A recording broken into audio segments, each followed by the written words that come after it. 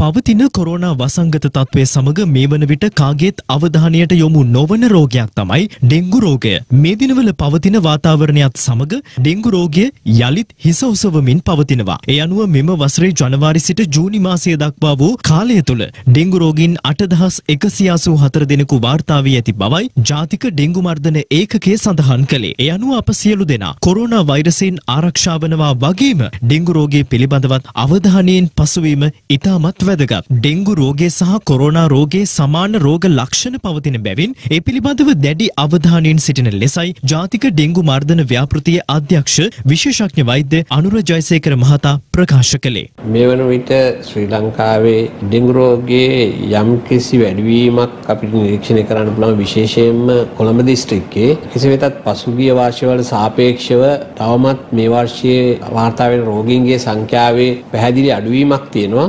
Dengue වගේම ඉතාමත්ම බරපතල තත්වයක තියෙනවා කොවිඩ් වසංගත තත්ත්වය. මොකද කොවිඩ් ඩෙන්ගු කියන රෝග දෙකම වෛරස් මගින් ඇති වෙන රෝග. මේ රෝග දෙකේම මූලික ප්‍රධාන රෝග ලක්ෂණ සමානයි. උණ, ඇඟපත වේදනාව, හිස රදය, සන්ධි වේදනාව මේ රෝග ලක්ෂණ සමානයි. නමුත් කොවිඩ් රෝගයේදී ශ්වසන ආබාධ බහුලව දක්න ලැබෙනවා. කැස්ස, සෙම් ප්‍රතිශ්‍යාව, උග්‍ර අමාරු වගේ දේවල් මේවා ඩෙන්ගු රෝගයේදී දක්නට ලැබෙන්නේ අඩුවෙන් කෙසේ වෙතත් උණ ඇඟපත වේදනාව හිසරදේ වැනි රෝග ලක්ෂණ තිබෙනවා නම් මේ දිනවල ඔබ වහාම වෛද්‍යවරයෙක් හමු වෙලා එහෙම නැත්නම් ළඟම රෝහලකට ගිහින් ඔබට තියෙන රෝග తত্ত্বය ඩෙන්ගුද කොවිඩ්ද එහෙම නැත්නම් වෙනත් රෝගයක්ද කියන එක පරීක්ෂා කරලා වෛද්‍යවරයාට තීරණය කරන්න ඉඩ දෙන්න ඕනේ. දිනපතා අලුත් වීඩියෝ සහ ප්‍රවෘත්ති නැරඹීමට ඉහත බටන එක ක්ලික් කර සියත TV සබස්ක්‍රයිබ් කරන්න.